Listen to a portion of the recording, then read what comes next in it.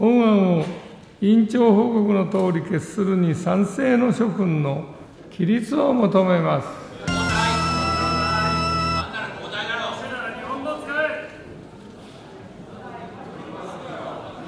起立多数よって本案は委員長報告のとおり修正議決いたしました日程第4西村智奈美君ほか13名提出。性的指向及び性自認の多様性に関する国民の理解の増進に関する法律案。日程第5新藤義孝君ほか5名提出。性的指向及び性同一性の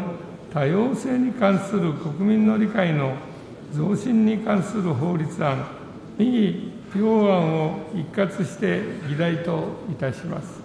委員長の報告を求めます。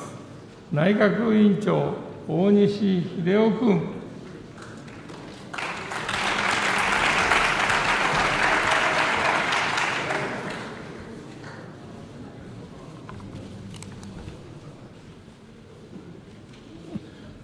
ただいま議題となりました両法律案につきまして、内閣委員会における審査の経過及び結果をご報告申し上げます。はじめに、新藤義孝君ほか5名提出の法律案は、性的指向及び性同一性の多様性に関する国民の理解の増進を図るためのものです。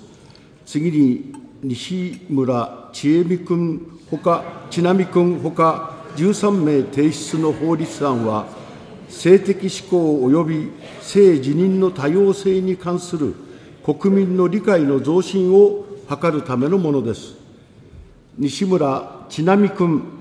ほか13名提出の法律案は、去る5月26日、新藤義孝君ほか5名提出の法律案は、6月7日、それぞれ本委員会に付託されました。9日、提出者、新藤義孝君及び西村智奈美君からそれぞれ趣旨の説明を聴取した後、質疑を行いました。次いで、新藤義孝君ほか5名提出の法律案に対し、自由民主党無所属の会、日本維新の会、公明党及び国民民主党、無所属クラブの共同提案により、性同一性の文言をジェンダーアイデンティティに改めること等を内容とする修正案が提出され、趣旨の説明を聴取した後、質疑を行い、質疑を終局しました。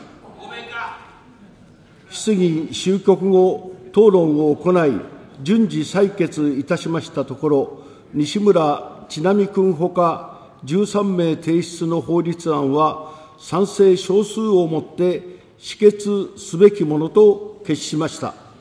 次に、新藤義孝君ほか5名提出の法律案については、自由民主党無所属の会、日本維新の会、公明党及び国民民主党無所属クラブの共同提案による修正案並びに修正部分を除く原案はいずれも賛成多数をもって可決され、法案は修正議決すべきものと決しました。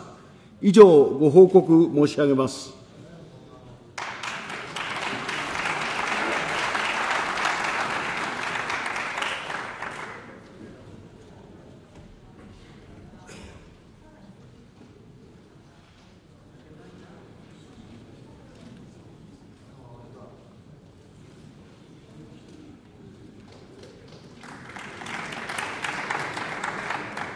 これより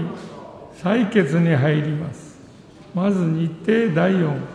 西村智奈美君ほか13名提出、性的指向及び性自認の多様性に関する国民の理解の増進に関する法律案につき採決いたします。本案の委員長の報告は否決であります。この際、原案について採決いたします。本案を懸案の通り可決するに賛成の諸君の起立を求めます。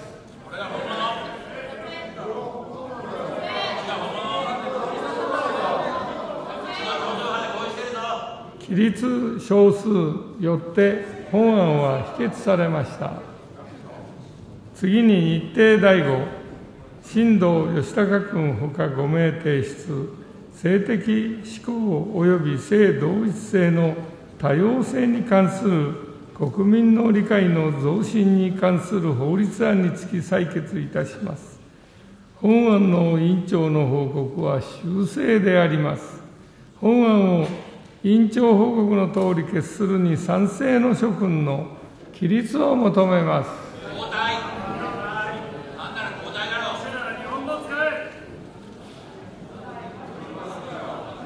起立多数よって本案は委員長報告のとおり修正議決いたしました。